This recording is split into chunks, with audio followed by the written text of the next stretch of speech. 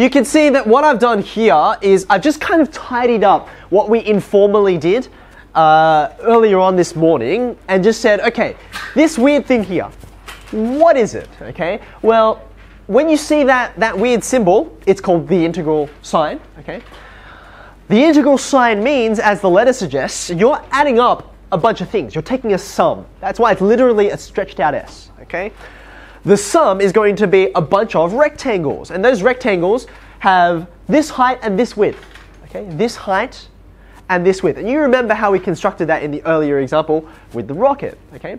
However, the difference between this and um, our old friend sigma notation is that sigma notation treats everything in nice big integer blocks, right? It's like there's the 1 and then the 2 and then the 3.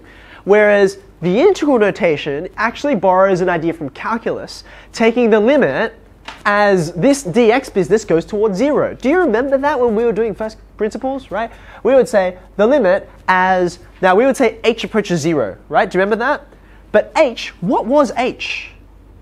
It was the tiny little run. Do you remember that? It's the, it's the, there's rise over run. So you could write it like this, right? As that approaches zero, and what you had up here was x plus that. There's your rise, and then on the bottom, you've got your run. Okay. Now, this idea from first principles of differentiation, it shouldn't be that much of a surprise that we borrow it and we use it inside here as well. So if you want to think about it this way, the integral notation is kind of like sigma notation, except you divide up your object into, well, have a look at this diagram, right? Because I'm about to destroy it. Instead of thinking as nice, neat rectangles, right? What you have is an infinite set of infinitesimally thin rectangles, each of which has its own independent height, and each of which has its own infinitesimally thin width. Okay? Now, if you just thought about one of those such rectangles, it would have no area because infinitesimally thin. But if you added up an infinite number of them, just like when we add up, you know, uh, one of these things, uh, whoops. Oh, yeah, no, that's right. Right? When you add up an infinite series, like a geometric progression, okay, you actually get something at the end. We're doing something very, very similar here, which is in fact the main reason why we did series of sequences before we did this. It's to gear your mind up for adding up a whole bunch of infinite things where those things tend toward really, really small things, but they still add up to something. Okay? So, the first important thing I want to emphasize here, which I didn't talk about this morning because we've just been overload, is how much you can see the letter X. Can you see the pronumeral X there? It's very important. It comes up a lot of times. In fact, it's so important I want to highlight it for you because it both matters and doesn't matter. Let me explain that in a second, okay? So let's have a look at it. I see it once, twice, three times, four times, whoops, five times, okay? So the X's appear many, many times. Let me explain firstly the way in which in some ways it doesn't matter what those what the x is okay? The letter x is what we call a dummy variable. That's a weird phrase but that's actually a technical term. It's called a dummy variable okay? Now i was talking to russ about this in the morning because he asked the question related to it. Those of you who've ever played or seen played the game of football right? Touch football you know that kind of thing or rugby league or whatever you guys know that when someone gets the ball okay uh, there's nothing roughly ball shaped here that's uh, okay, whatever. Someone gets the ball, okay, and then they get tackled, okay, and then what do they have to do? Well, they have to take the ball, they put it on the ground, and then they pass it to someone directly behind them, okay. Now that person is called the dummy half, right? Now, what's their job? Well, once they get the ball, okay, so the person behind us just put it down, they pick it up. The immediate thing they do is they get rid of the ball. They pass it to someone else, right? So they don't hold on to it long term. They're kind of like a little placeholder. It's like just for a second they have it and then they quickly get rid of it. And that's what happens with this. Go back to your earlier examples. Do you remember? The first line you would have would have this in it, and then immediately on the next line, all the x's are gone because they've been replaced by numbers, right? You evaluated the definite integral, okay? So it's a dummy variable, which means I could just as easily have written, for example, a, B, f of y dy. Okay?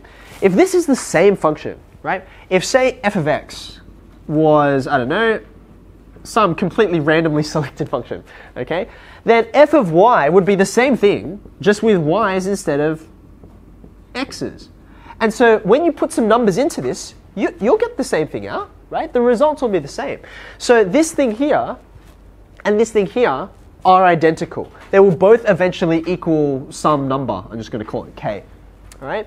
So the number has nothing to do with x or y. The number is 8 or 23 or 5 pi. Okay? And it doesn't care whether it came from a y or whether it came from an x. Okay? So that's the first thing to note. It's called a dummy variable because in a real sense it doesn't matter. When you're evaluating it, you will just get a number at the end. It doesn't matter where you started. But it kind of does matter. Because watch what happens now if I actually do go through wrong color and replace all the x's with y's. Because you'll notice if you have a look at my formal definition, and if you haven't written it down, do, do write it down. Watch what happens if I do actually change it with respect to the whole definition. Watch. If I go f of y dy, then I go, well, that's not an x anymore. That's a that's a y. That's not x equals a. It's y equals a. This is not x equals b. It's y equals b. When you think about the integral as an area, like this thing here, it actually is something different now. Here's another different function. I just drew something to be convenient, right? If this is f of x, then when I do this integral, it's going to be up here now. Do you see this? Look, it's against the y-axis. That's over here, right? It's between y equals a and y equals b. A, b. So now I've got a whole different shape altogether. It's an area in a whole different place. Okay, does that make sense? So, the variable, it sort of matters, but it sort of doesn't, depending on how you're actually using it. Okay? If you're like, oh, I'm in a question, I don't know which one is which, then just ask me and I'll help you. Okay? Now, speaking of which is which, I want you to remember that this guy here, oops, is adding up a whole bunch of infinitesimally thin rectangles, and you end up with, geometrically, what do you end up with? You end up with an area, don't you? Okay? So, being that this is an area, you can think of it in two different ways. You can evaluate it two different ways. You can actually just find the area, like look at the shape. It's a, it's a square, it's a rectangle, it's a semicircle, whatever, okay? If that's easier, then go for it. No calculus required. All this means it's, is it's the area. So find the area, whatever's the easiest way, okay? But sometimes, such as the two examples I have on the board, um, I don't even know what this shape is called. I don't even know if this shape has a name, let alone what it's called. So you don't have a formula for this, the area of a wiggly thing, okay? You don't have a formula for it. So therefore, you can't just go to the area as if it were a normal plane figure you have to treat it as something that you have to do calculus to. So you're going to have to find the primitive, put those boxes around, and do that. Um, so something like this. Oops. From A to B. Okay. Now I'm going to push on this for a second. How do you tell which one you use?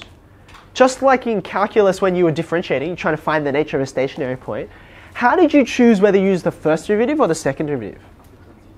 You looked at which one was easier, but how did you know which one was easier? If I gave you a random function, if I gave you a random function like this, and I said, off you go, determine, find the stationary points, determine their nature. Which one would you use for this one? I, I hope we would mostly use the second derivative here, right? Because differentiating once gives you 2x plus 5. Differentiating again just gives you 2 differentiating again is really easy, no problems. Whereas if I said, for instance, this, like, oh, no, forget that. Okay, I don't want to differentiate that again. The more times you differentiate it, the worse it just rapidly unravels. Okay, so that's how you choose. So you look at the function and you make a judgment. Well, it's the same deal here, right? You must look at this function and you have to make a judgment, right? Is, is it an easy shape? do you, do you end up with a recognizable triangle, trapezium, parallelogram, something like that? Then, then just do that. If it's not, then you're going to have to, like, for example, in these cases, right, you're going to have to go through the primitive. Does that make sense?